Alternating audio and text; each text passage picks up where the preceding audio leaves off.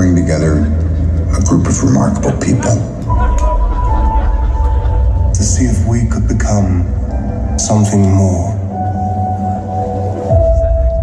So when they needed us, we could fight the battles that they never could.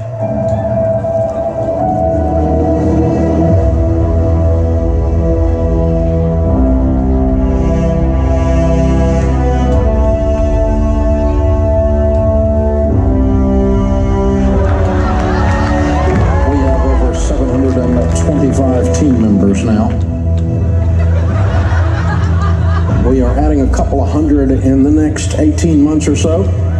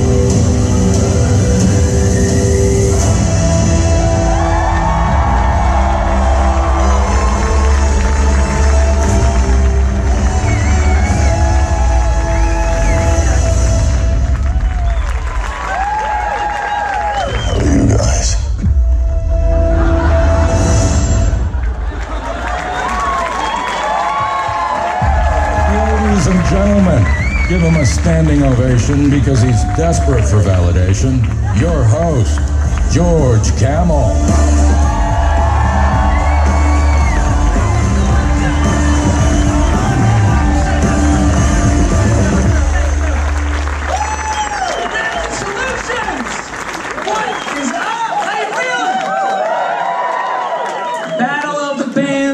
2018. This is insane. This is madness. Who does this? That was rhetorical. Okay. Well, first of all, how epic was that trailer? I just want to freaking run through it all. Let's give it up to Joe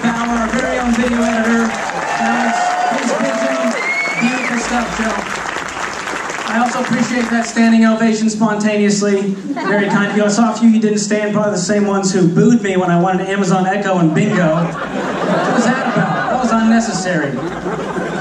Anyways, uh, let's move on to something positive. How about those DJs? Our very own Rave Damsey. Yep. Chris Wright, Zach Ford, talented guys.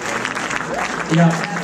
So if you can't tell by now, this isn't your mom's rock show. Okay, this is the exact opposite of the 1990 Petra concert at Starwood Amphitheater. For those of you under 30, that was a Christian rock band that pioneered the genre, and Starwood Amphitheater was a venue before we had Ascend. Just a little uh, tidbit there. So let me tell you that the relief is here. Are you feeling it? Did you just feel the tension?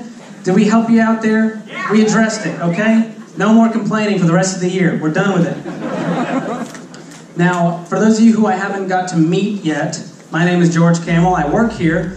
Been here for five years now, and I have the unique pleasure of hosting the Dave Ramsey Show video channel. I know none of you watch the show because you're all working so hard. Appreciate that.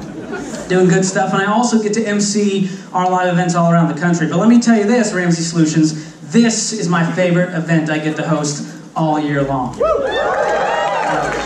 And usually it's the highlight of my year, but I'm getting married this year. So, yeah, what's up? Whitney's out there, appreciate you. Lots of love, lol. Uh, gosh, good times. So this is my third year hosting this, which is very exciting, and it's hard to top it every year. There's a lot of expectations, but let me just lower them right now, okay? This is what you get. but we're gonna have a good time. So let me, uh, before we get into how this all works, I just want to give some love to the AV team. I mean, look at this room.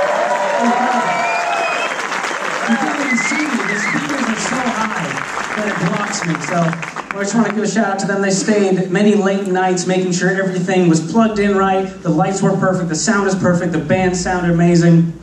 So let's get into it. Eight bands this year, and they're all team members. They're people who work here. This is their side gig. They put the time in, the effort in. Some of them are honestly better at music than they are at their jobs, which is awkward, especially if they lose. They have music degrees from Belmont, and they're putting it to work. All to win their name on a trophy. So that's fun. We got four weeks of the Bands this year, and each week you're going to see two bands come up here, but only one will move on to the finals. And here's the coolest part you get to vote. It's up to you. So at the end of each week, we're going to do a text to vote. We'll put that information on the screen. And listen, this is a, it's basically a popularity contest, okay? I'm sorry, popular, it's popular vote. So board members, it's not like the electoral college. Their votes don't count any more than yours. It's a fair playing field here. But let me tell you what's at stake. This year, of course, you're to get a banner added to the wall of fame of Battle of the Bands and your name on the Battle of the Bands trophy, which is awesome. But you also get bragging rights forever. Because for some people, this is the biggest accomplishment of their lifetime, is winning a Battle of Bands. So it's a big deal. And of course, there's a cash prize as well, which is also nice for their efforts. But it's like $2 once you do the math. You're going to see this uh, 18 band members come up here in just a second. So uh, you guys want to? You guys want to? Are you good? You want to come up? Sorry, guys, I'm getting a call. Uh, it's a mortgage guy. No, it's all right. All right. Are you guys good? You're not gonna. You're good. You're ready to go. So you're just waiting on me. Okay, that's fine then. Well, this year we did something cool. I wanted to get to know the bands, especially with all these new team members. So I had a chance to sit down with them and grill them with the tough questions. For example, what do these band names mean? Why are they trying harder with this than they are with their actual jobs? The tough questions that we all want the answers to. So this first band I'm really excited about, Yacht Rock Revolution. What a name. You can't have the word revolution not be amazing, so you really set the expectation there. But I had a chance to sit down with them. They're a motley crew of C-word vagrants, as you'll see in just a second. Just kidding, they're just normal people with cool hats. Looks great, guys. Krispy Kreme really uh, took you to the cleaners on that one. Well done. Well, uh, what do you say we get started? You guys ready to go? Let's roll that beautiful bean footage.